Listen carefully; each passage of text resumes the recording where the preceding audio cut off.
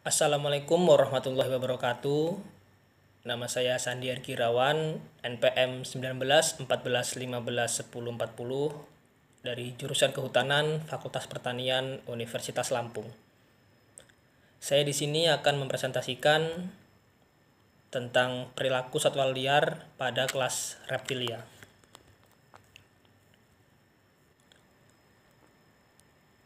Di PPT ini terdapat empat pokok pembahasan.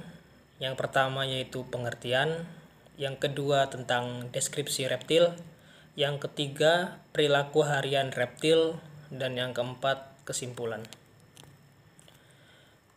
Yang pertama pengertian. Perilaku merupakan kebiasaan-kebiasaan satwa liar dalam aktivitas hariannya seperti sifat kelompok, waktu aktif, wilayah pergerakan, cara mencari makan, serta membuat sarang. Hubungan sosial, tingkah laku bersuara, interaksi dengan spesies lainnya, dan cara kawin, serta melahirkan anak. Perilaku sosial Apa itu perilaku sosial? Perilaku sosial merupakan perilaku yang dilakukan oleh satu individu atau lebih yang menyebabkan terjadinya interaksi antar individu maupun antar kelompok. Perilaku sosial itu sendiri bisa dibagi menjadi empat. Yang pertama ada afiliatif. Perilaku afiliatif adalah perilaku yang dilakukan bertujuan untuk mempererat ikatan sosial Lalu perilaku agonistik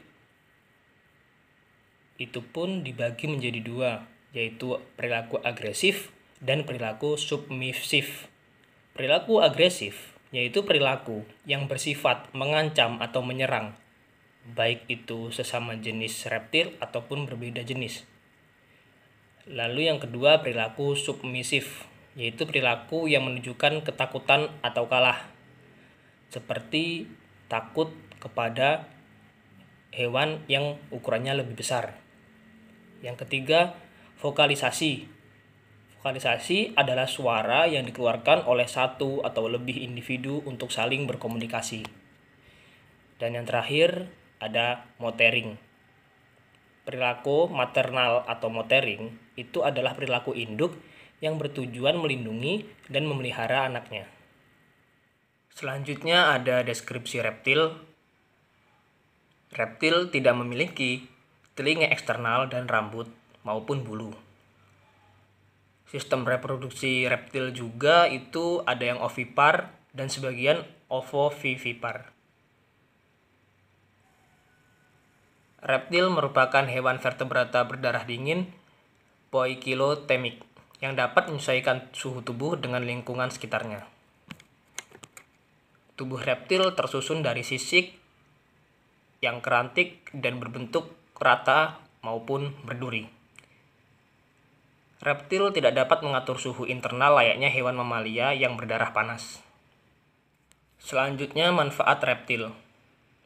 Yang pertama sebagai binatang peliharaan. Yang kedua untuk dikonsumsi dan yang ketiga untuk obat-obatan. Maka dari itu harga reptil semakin meningkat. Perilaku harian reptil.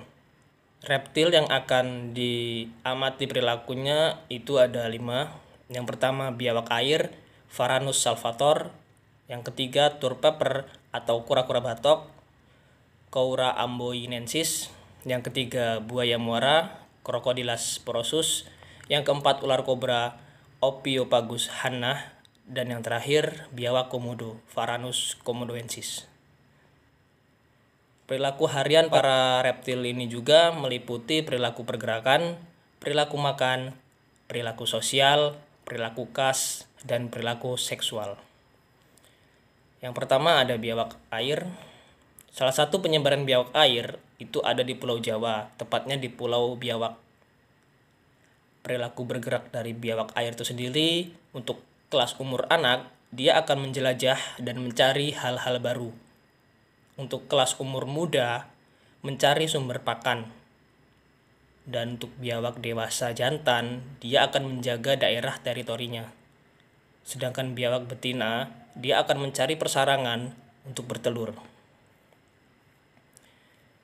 Perilaku makan dari biawak air, biawak dewasa biasanya lebih banyak memangsa tikus dan sesekali memangsa ikan di pantai. Perilaku yang ditunjukkan adalah berkelahi untuk memperebutkan makanannya. Aktivitas biawak air itu sendiri dari tiap umur cenderung sama di pagi dan sore hari.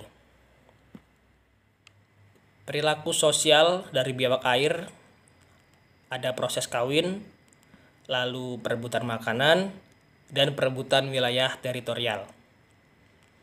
Perilaku khasnya saat hujan deras, biasanya biawak air akan beristirahat di tempat yang teduh. Sedangkan saat cuaca mendung atau gerimis, biawak air akan melakukan aktivitasnya seperti biasa. Perilaku sosial biawak air bertelur. Telur biawak disimpan di pasir atau di lumpur di tepi sungai yang bercampur dengan dedaunan busuk dan ranting. Yang kedua ada turpeper atau kura-kura batok. Kura-kura batok ini tergolong suku Geoomididea. Menyebar luas dari India di sebelah barat hingga Maluku di bagian timur. Dan habitatnya itu semi akuatik. Perilaku makan kura-kura batok waktu makannya pukul 7 pagi atau setengah 8 waktu Indonesia Timur.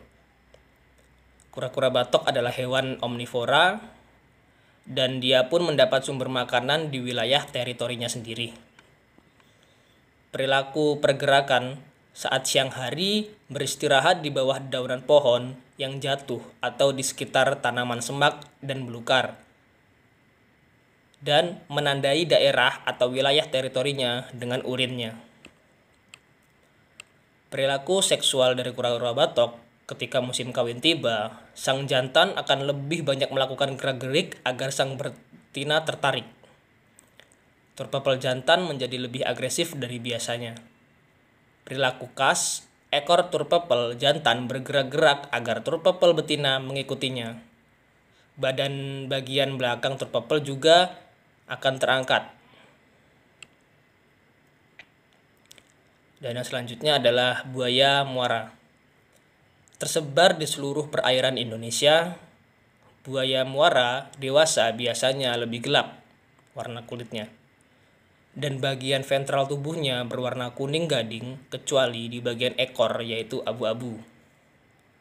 Perilaku bergerak dari buaya muara ini bersifat semi akuatik Perilaku di perairan lebih penting karena berbagai macam kebiasaannya dilakukan di perairan.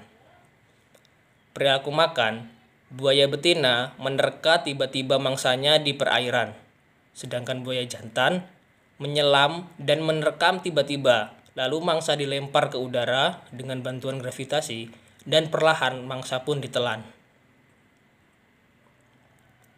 Perilaku sosial buaya muara Buaya yang memiliki ukuran yang paling besar merupakan individu buaya yang paling dominan di kelompoknya.